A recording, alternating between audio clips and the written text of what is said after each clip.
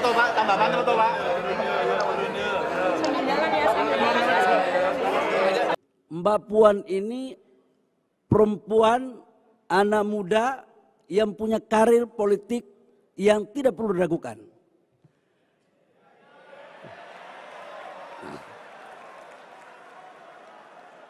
Siapa yang bisa membantah ada tokoh wanita di Republik Indonesia yang usia sama dengan Mbak Puan, yang pernah berproses di DPR, pernah menjadi Menko PMK, dan kemudian menjadi ketua DPR dan punya partai.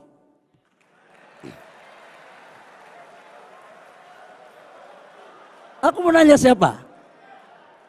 Dan satu-satunya capres yang sudah punya tiket partai hanya Mbak Puan.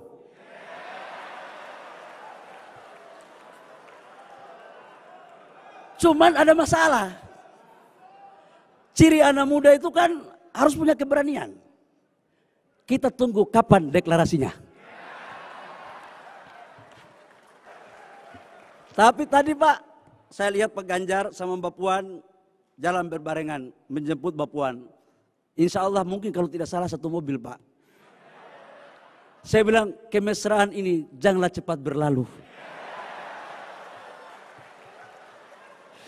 Semua ini harus terjadi untuk rakyat, bangsa, dan negara, untuk kesejahteraan kita semua. Yang kedua yang berkaitan dengan politik. Yang berkaitan dengan politik. Saya hanya titip kepada calon-calon presiden, calon-calon wakil presiden yang juga hadir di sini.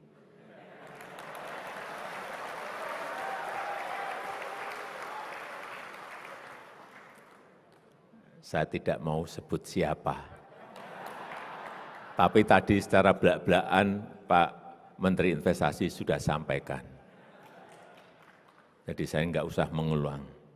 Saya titip dalam kondisi dunia yang sangat rentan seperti ini, kita harus semua menjaga agar kondusivitas situasi politik itu tetap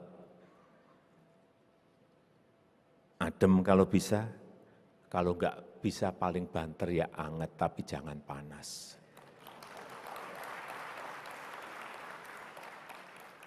Karena situasinya tidak normal, hati-hati situasi dunia sedang tidak normal.